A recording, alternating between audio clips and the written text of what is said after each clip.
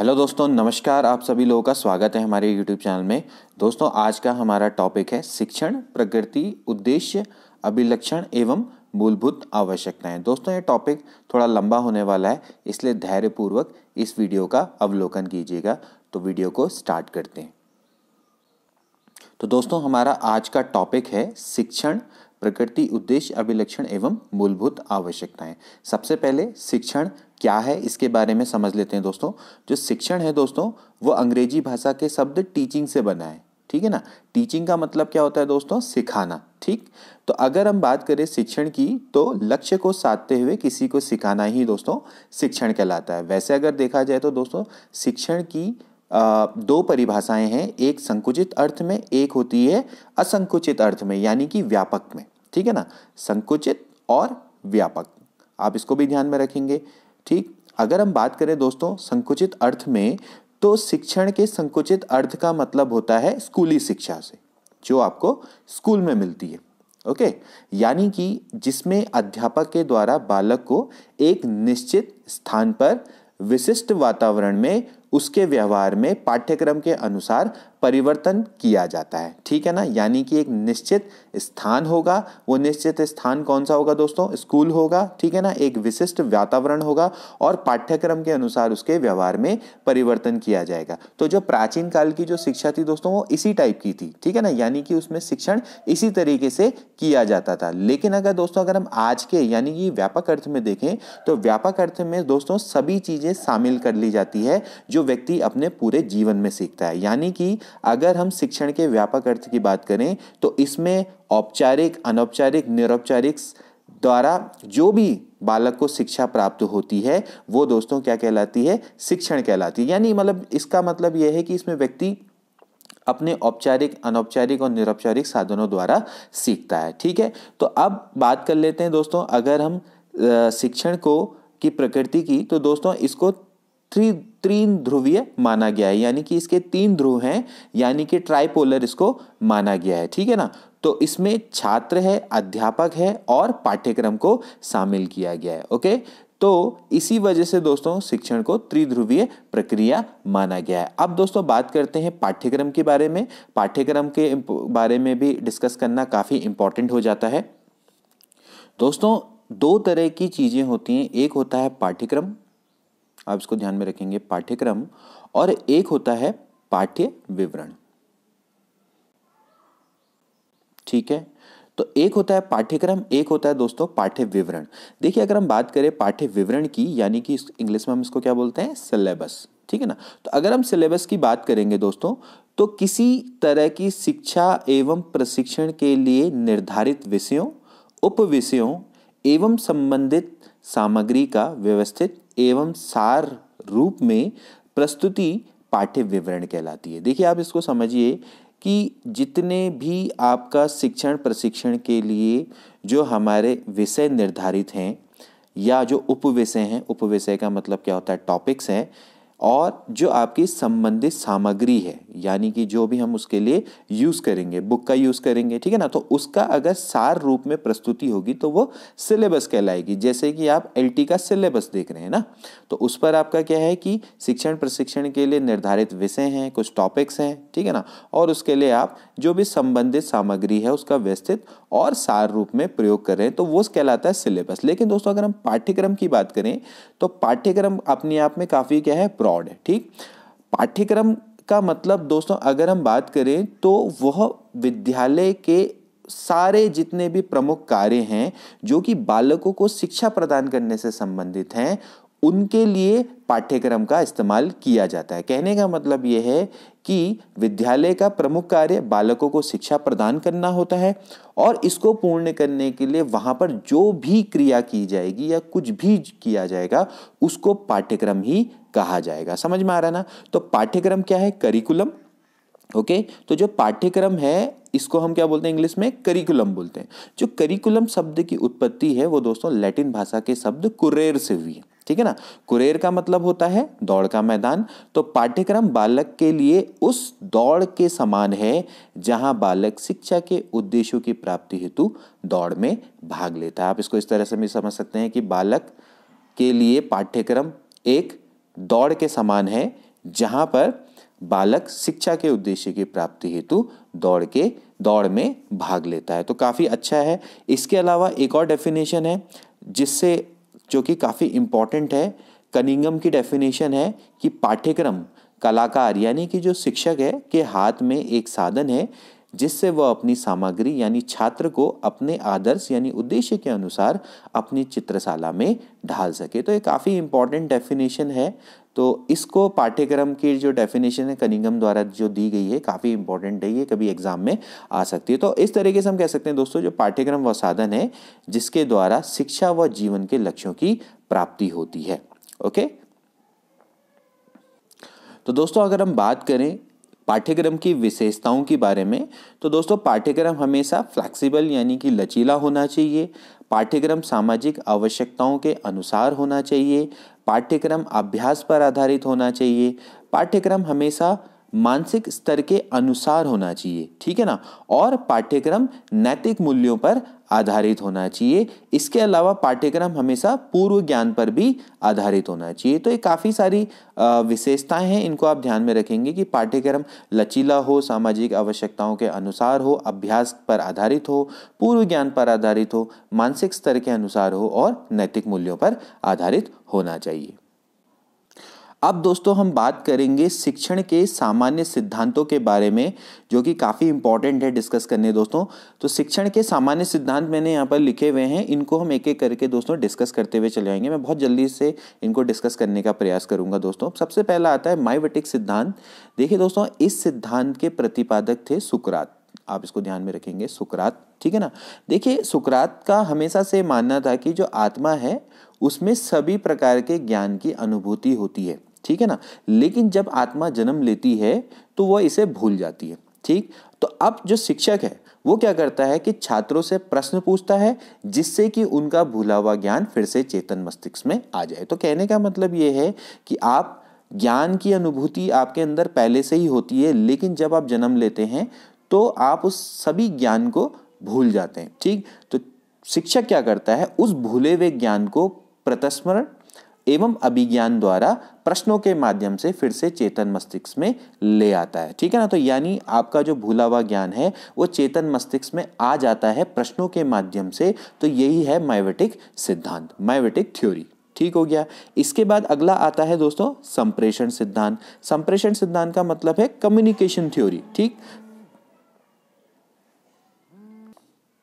तो दोस्तों, अगर हम बात करें संप्रेषण के सिद्धांत की तो इस सिद्धांत में शिक्षक द्वारा सूचनाओं, तथ्यों और विचारों को छात्रों तक भाषा की सहायता से संप्रेषित करता है। ठीक है ना? आप इसको ध्यान में रखेंगे कि संप्रेषण का तो अर्थ ही ये होता है ना कि जो सूचनाएँ हैं, तथ्य हैं, विचारों का एक तरीके से संप्रेषित करना उनको भाषा की सहायता से। ठीक है ना?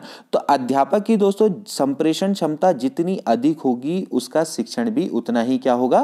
प्रभावशाली होगा। ठीक है ना? तो आपको ध्यान में रखना चाहिए कि जो प्रभावी शिक्षण है, उसके लिए संप्रेषण कौशल यानी कि जो संप्रेषण सिद्धांत काफ़ी इंपॉर्टेंट हो जाता है।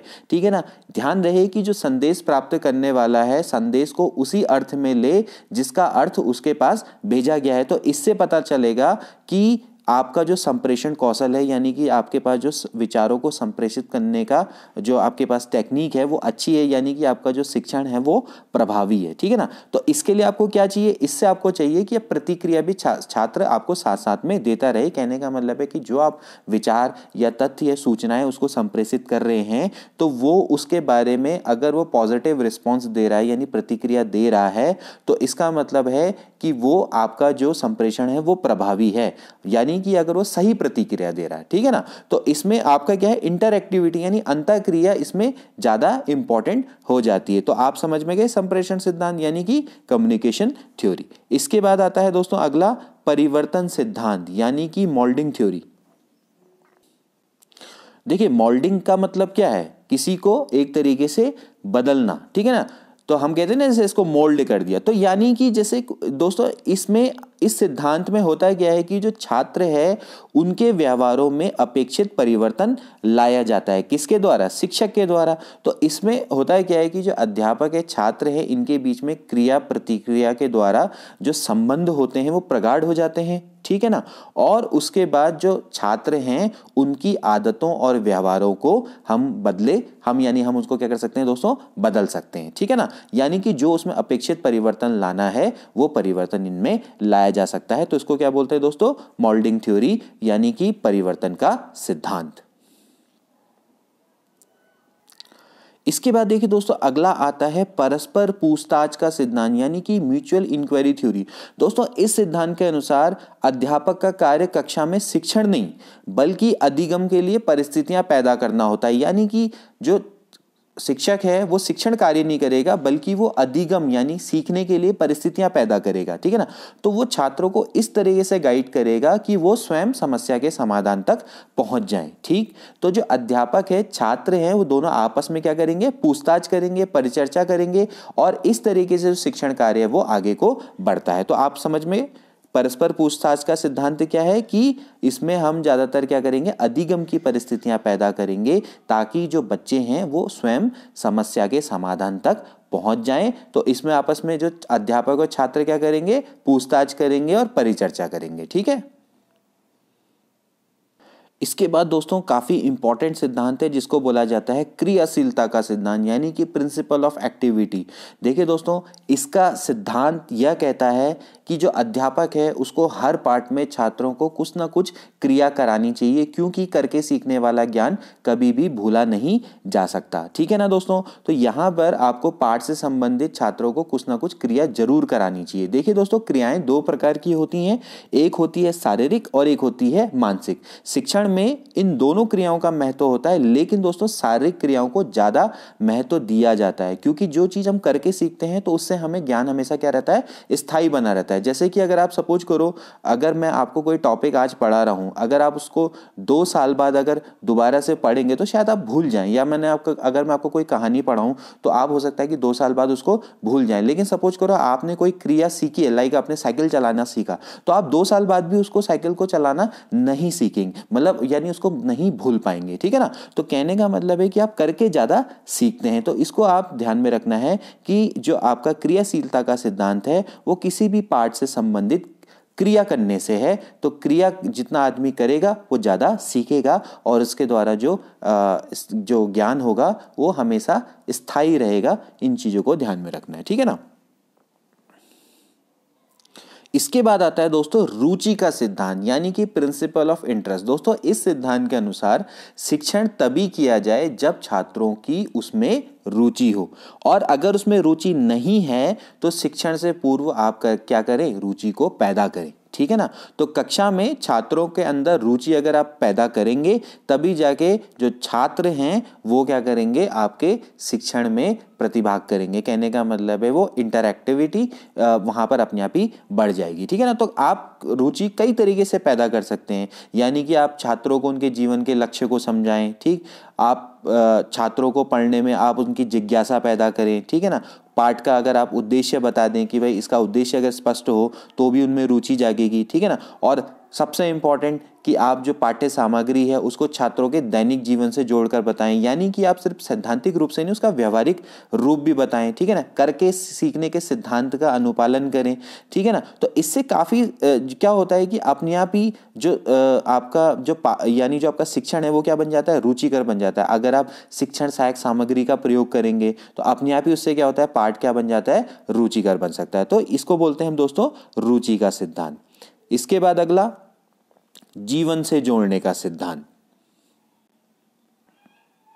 तो देखिए दोस्तों, ये बहुत सिंपल है, जीवन से जोड़ने का सिद्धांत, यानी कि principle of linking with life देखिए, छात्र अपने स्वयं के जगत में जीता है तो यह उन्हीं विषयों और क्रियाओं में दोस्तों रुचि लेगा जिसका उसके जीवन से सीधा संबंध हो, ठीक?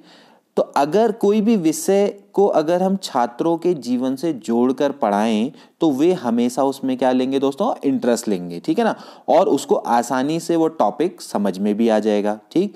तो इसमें होता है क्या है कि छात्र अपने पुराने अनुभव के संग नए अनुभव को जोड़ लेता है, ठीक है ना? और नए अनुभव उसके पुराने अनुभव के अंग बन जाते हैं। तो यानी इसको बोलते हैं दोस्तों, जीवन से जोड़ने का सिद्धांत। इसके बाद अगला आता है चयन का सिद्धांत, यानी कि प्रिंसिपल ऑफ़ सिलेक्शन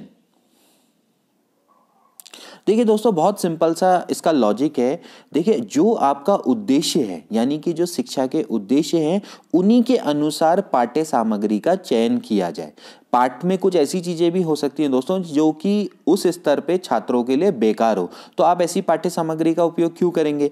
तो उचित पाठ्य सामग्री का चयन करना ही इस चयन सिद्धांत का बेसिक है। समझ में आया आपको? तो इसलिए आपको क्या करना है कि अध्यापक को यानी कि छात्रों के स्तर और उनकी रुचि और उद्देश्यों को ध्यान में रखकर ही आ, हम कह सकते हैं सामग्री का चयन करना होता है जिससे कि वह जो सामग्री है वो छात्रों के लिए एक तरीके से सार्थक हो। ठीक है ना? यानी कि वो उससे उनको काफ़ी कुछ सीखने को मिले। तो यहाँ पर चयन का सिद्धांत यानी कि प्रिंसिपल ऑफ़ सिलेक्शन का यही मतलब है। इसके बाद अगला नियोजन का सिद्धांत, यानी कि प्रिंसिपल ऑफ़ प्लानिंग देखिए दोस्तों, अगर कोई भी शिक्षक है, वो पाठ को पढ़ाना चाहता है तो उसको पाठ पढ़ाने से पहले अपने लेसन की पूरी योजना बना लेनी चाहिए। ठीक है ना? तो समझ में आ रहा है ना कि अगर आप कोई भी पाठ पढ़ाना चाहते हैं तो आप उसके लिए पहले क्या करेंगे? प्लानिंग करेंगे ना? तो बिना प्लानिंग के अगर आप पढ़ाएँगे तो आपका शिक्षण कभी भी प्रभावी हो सकता है? कभी भी नहीं हो सकता। ठीक है ना? जब तक दोस्तों आप लोगों ने प्लानिंग नहीं करी है अगर कोई भी पार्ट को पढ़ाने से पहले तो हो सकता है कि शिक्षण कार्य के दौरान कोई भी एक समस्या आपके सामने आ सकती है और आप उस समस्या का समाधान ना ढूंढ पाए, ठीक है ना? तो जब आप एक पूरी तरह से प्लानिंग करके टीचिंग करने आते हैं तो आप जब क्योंकि आपने उस पर प्लानिंग की हुई है तो आपके सामने कोई भी अगर समस्या आ जाए तो आप अपने अनुभव के आधार पे उसको समस्या का आप क्या कर सकते हैं, हल निकाल सकते हैं। ठीक है ना? तो इसीलिए इसको बोलते हैं नियोजन का सिद्धांत। इसके बाद अगला आता है विभाजन का सिद्धांत, यानी कि प्रिंसिपल ऑफ़ डिवीज़न अब देखिए दोस्तों प्रिंसिपल ऑफ़ डिवीज़न का क्या मतलब है? डिवीज़न का अर्थ क्या होता है दोस्तों? तोड़ना, ठीक है ना? तो आप क्या करेंगे? पाठ के प्रस्तुतिकरण से पूर्व अध्यापक को, पूरे पाठ को आप क्या करेंगे? छोटी छोटी इकाइयों में बांट लीजिए। यानी कि छोटी छोटी यूनिट्स में बांट लीजिए। लेकिन ध्यान में रखना है कि इकाई को आपने इस तरीके से तोड़ना है कि वो अपने आप में पूर्ण हो और अगली जो यूनिट्स यानी कि अगला आप यूनिट जो पढ़ाना चाहते हैं, उसके लिए उसमें आसानी से क्या हो जाए, जिज्ञासा पैदा हो जाए, ठीक है ना? तो ऐसा करने से क्या होता है कि जो पाठ है वो छात्रों के लिए सरल और रुचिकर हो जाता है, ठीक है ना? और हमेशा ध्यान में रहे कि जब आप इसको पढ़ा रहे हैं तो एक यूनिट को दूसरी यूनिट से कनेक्ट करना ना भूलें तो वो भी आवश्यक हो जाता है। तो इसको क्या बोलते हैं दोस्तों? विभाजन का सिद्धांत, यानी कि आपने पाठ पार्ट है, पार्ट को आपने छोटी छोटी इकाइयों में तोड़ देना है, जिससे कि छात्र उसको आसानी से समझ सके।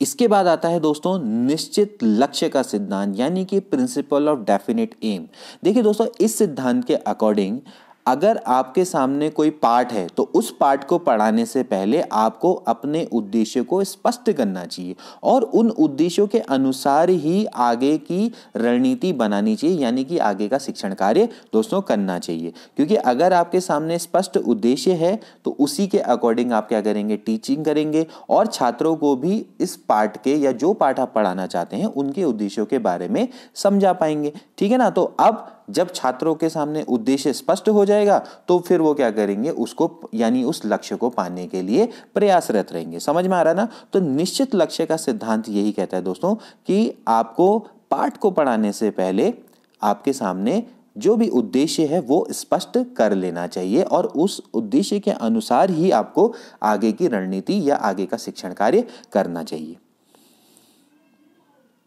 इसके बाद आता है दोस्त, दोस्तों अगला दोहराने का सिद्धांत यानी कि प्रिंसिपल ऑफ़ रिविजन तो इस सिद्धांत के अकॉर्डिंग क्या होगा दोस्तों? जो भी आप छात्रों को पाठ पढ़ाएँ उनको अवश्य क्या कर लें? दोहराएँ। क्योंकि अगर वो दोहराएँगे नहीं तो वो बहुत जल्दी क्या कर लेंगे? उसको भूल जाएँगे। तो पाठ जो आपकी कठिन हम कह सकते हैं पाठ होते हैं उनको तो बार बार दोहराना बहुत ज़रूरी हो जाता है। हालाँकि जो सिंपल चैप्टर है, आप उनको कम दोहराएँ, उनको ज़्यादा दोहराने से कोई फ़ायदा नहीं है। तो आप देखिए, जैसे अगर आप दोहराने का सिद्धांत का अगर आप अनुपालन करें तो गृह कार्य भी इसी के अंतर्गत आता है। क्यों दिया जाता है गृह कार्य? गृह कार्य इसीलिए दिया जाता है ताकि जो पाठ है, उसको बच्चा ना भूले, यानी कि वो दोहराने के सिद्धांत के अंतर्गत आता है। ठीक है? इसके बाद लोकतांत्रिक व्यवहार का सिद्धांत, यानी कि प्रिंसिपल ऑफ़ डेमोक्रेटिक डीलिंग तो इसमें हमेशा जो कक्षा है, उसमें छात्रों के प्रति अध्यापक का व्यवहार लोकतांत्रिक होना चाहिए। यानी कि लोकतांत्रिक का मतलब समझ रहे हैं ना? यानी कि आपको छात्रों के व्यक्तित्व को भी सम्मान देना है और उनको भी अपनी अभिव्यक्ति का, यानी कि जो वो कहना चाह रहे हैं, उसका भी संपूर्ण अवसर देना चाहिए। कहने का मतलब यह है कि उनको स्वचिंतन का और उनको स्वतंत्र अभिव्यक्ति का को को उभारने का पूरा अवसर देना चाहिए, ठीक है ना? तो इसका मतलब ये है कि आप क्या करेंगे? जब जब आप टीचिंग करेंगे तो उसमें आप छात्रों की सहायता एवं सहयोग से पाठ को आगे करेंगे, ठीक है ना? आप उनसे प्रश्न पूछेंगे, आप उनके प्रश्नों के उत्तर की डिमांड करेंगे, ठीक है ना? और समझ में आ रहा है ना? तो इसमें आपको क्या है? क्या करना है कि आपको छात्रों से प्रश्न पूछना यानी कि उनको भी उनको भी पूरा क्या देना है? सम्मान देना है, ठीक है ना? तो इससे होता क्या है कि जो छात्र हैं, अध्यापक हैं, दोनों का आत्मविश्वास आपस में बढ़ता है। तो आपसी सहयोग से आपने क्या करना है जो टीचिंग का कार्य है, वो आगे करना है। आप ऐसा नहीं होना, प्रभुत्ववादी नहीं होना चाहिए। प्रभुत्ववादी में क्या होता है दोस्तों कि जो शिक्षक है, वही पढ़ाता रहता है और छात्र केवल सुनते रहते हैं। तो ऐसा नहीं होना चाहिए। लोकतांत्रिक व्यवहार का मतलब ही यही है कि आपने छात्रों से प्रश्न पूछने हैं छात्र आपसे भी प्रश्न पूछ सकते हैं ठीक है ना?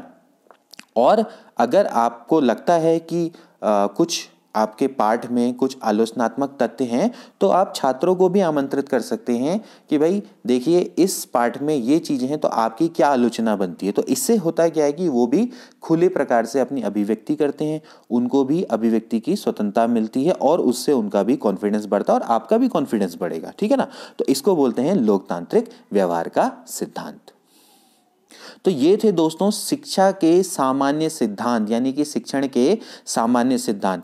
अब बारी आती है दोस्तों शिक्षण के ज्ञानात्मक सिद्धांत की, यानी कि कॉग्निटिव थ्योरी ऑफ़ टीचिंग देखिए दोस्तों, इस सिद्धांत के प्रतिपादक गेज हैं तो उनका मानना यह था कि दोस्तों शिक्षण का कोई एक सिद्धांत शिक्षा के उद्देश्यों की पूरी पूर्ति नहीं कर सकता है, ठीक है ना? तो इसलिए शिक्षण के बहुत सारे सिद्धांतों को मिलाकर ही शिक्षण का कार्य किया जाना चाहिए, ठीक है ना? तो जो गेज हैं, गेज ने हम कह सकते हैं जो शिक्षण का विश्लेषण है, वो चार आधारों पर किया है। उन्होंने माना है कि देखिए क्या क्या होने चाहिए सबसे पहले? शैक्षिक उद्देश्य, ठीक है? शैक्षिक उद्देश्य, शिक्षण क्रियाएँ, अधिगम सिद्धांत और अधिगम के तत्व। अब इनके बारे में थोड़ा सा डिस्कस कर लेते हैं।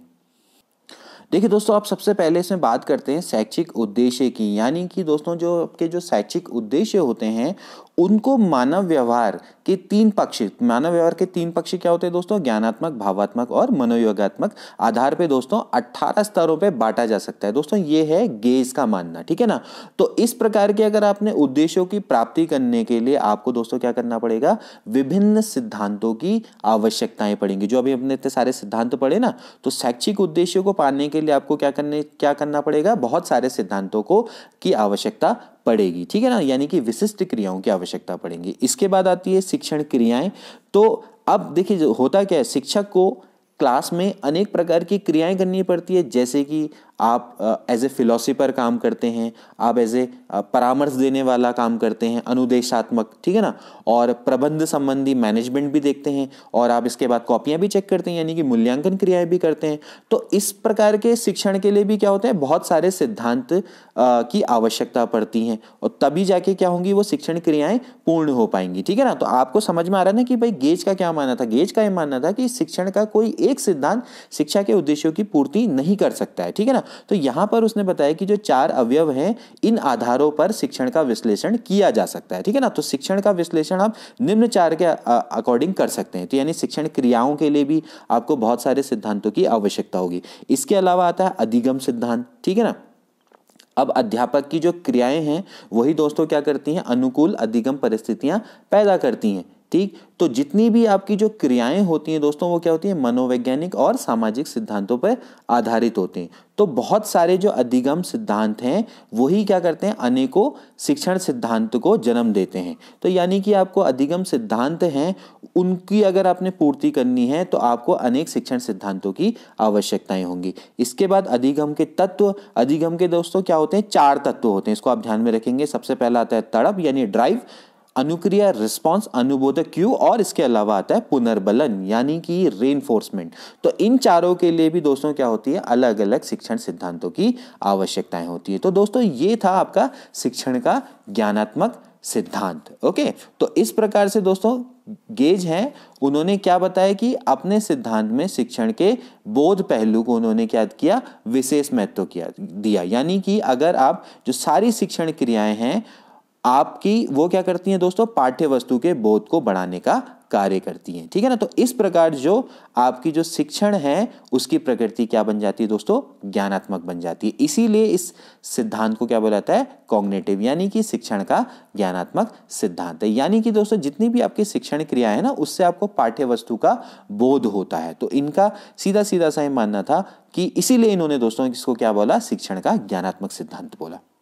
इसके बाद अब अगला आता है दोस्तों, शिक्षण का मनोवैज्ञानिक सिद्धांत, यानी कि साइकोलॉजिकल प्रिंसिपल ऑफ़ टीचिंग अब साइकोलॉजिकल प्रिंसिपल ऑफ़ टीचिंग के अंतर्गत दोस्तों क्या क्या आते हैं? देखिए, सबसे पहला आता है अभिप्रेरणा का सिद्धांत, यानी कि प्रिंसिपल ऑफ़ मोटिवेशन तो दोस्तों, इसमें क्या होगा? जो सिख, जो अध्यापक,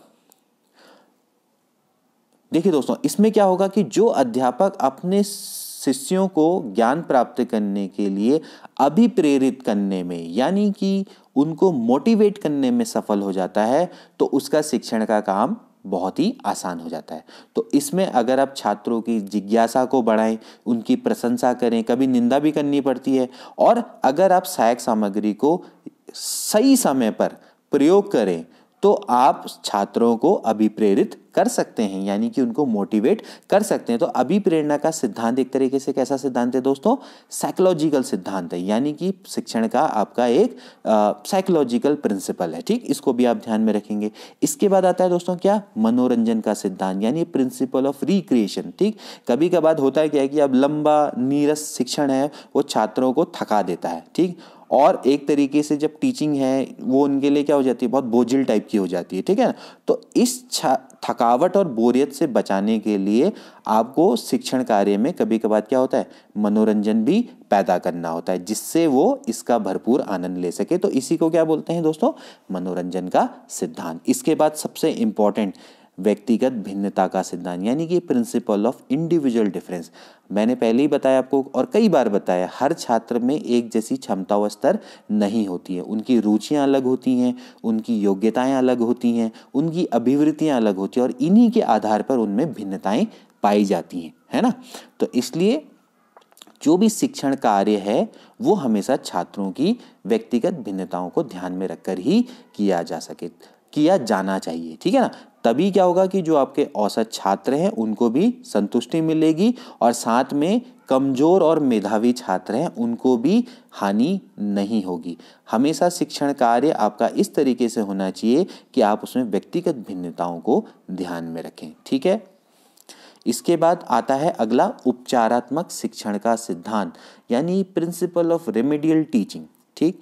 अब होता क्या है कि दोस्तों जो छात्र होते हैं वो जनरली कक्षा में कमज़ोर होते हैं। होता है, प्राय देखा जाता है कि जो कुछ छात्र क्या होते हैं, कक्षा में कमज़ोर रह जाते हैं, ठीक है ना? और फिर वो क्या करते हैं, भी कक्षा और पढ़ाई से भागते हैं, ठीक? तो ऐसा होता क्यों है? ऐसा शिक्षण क्रियाओं में गलती के कारण भी हो सकता है, ठीक? तो अध्यापक को क्या करना चाहिए?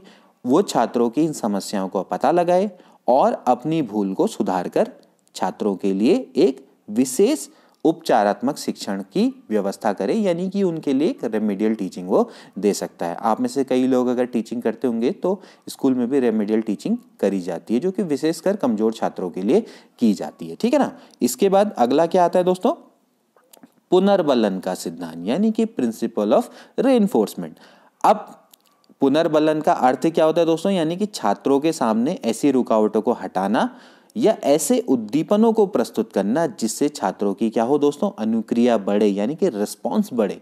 पुनर्बलन का मतलब ही यही है ना, कि आप ऐसे उद्दीपन का प्रयोग करेंगे जिससे छात्रों की अनुक्रिया, यानी कि उनका रिस्पॉन्स बढ़े। ठीक है ना? यानी क्रिया करते हुए पाए जाएँ। तो होगा क्या कि शिक्षण के समय अध्यापक छात्रों को अच्छे कामों के लिए क्या देता है? जैसे शाबाशी देता है। है ना? यही क्या है? रेनफोर्समेंट है। या उन्हें अच्छे कार्यों के लिए क्या करेगा? पुरस्कार देगा। तो इससे उनकी अनुक्रिया की संभावना क्या हो जाती है दोस्तों? और बढ़ जाती है। तो इसी को क्या बोलते हैं? पुनर्बलन का सिद्धांत। ठीक है? इसके बाद आता है अगला, इंद्रिय प्रशिक्षण का सिद्धांत, यानी कि principle of training to senses ठीक? तो ज्ञान को प्राप्त करने के लिए पाँचों ज्ञानेंद्रियों की ज़रूरत होती है। ठीक है ना? और अध्यापक कक्षा में अगर ऐसी क्रियाएँ करता है कि जिससे कक्षा में सभी इंद्रियों को विकसित होने का अवसर मिले तो उसी को क्या बोलते हैं? इंद्रिय प्रशिक्षण का सिद्धांत, यानी कि principle of training to senses है ना? तो ये काफ़ी इंपॉर्टेंट है। और इसके बाद लास्ट में क्या आता है दोस्तों? सहानुभूति का सिद्धांत, यानी कि जब आप दोस्तों छात्रों के संग सहानुभूति पूर्वक व्यवहार रखते हैं तो आपकी और छात्रों की निकटता बढ़ती है। यानी कि आ, छात्र आपसे प्रेम करने लगते हैं, यानी कि आपके निकट आते हैं, ठीक है ना? और अध्यापक क्या कर सकता है? उनकी आवश्यकताओं, क्योंकि जब आपके वो साम, निकट आ गए हैं तो होगा क्या कि आप उनकी आवश्यकताओं को जानकर उनके लिए समुचित शिक्षण की व्यवस्था कर सकते हैं, ठीक है ना? तो दोस्तों, ये थे आपके शिक्षण के मनोवैज्ञानिक सिद्धांत। तो दोस्तों, अभी के लिए इतना ही। अभी ये चैप्टर पूरा नहीं हुआ है, ये टॉपिक अभी पूरा नहीं है, हुआ है। अभी हम शिक्षण सूत्र के बारे में भी बताएँगे और डेफिनेटली शिक्षण के उद्देश्य के बारे में भी डिस्कस करेंगे, ठीक है ना? तो अभी इसका सेकेंड पार्ट जल्दी आएगा तो फ़िलहाल take care and good bye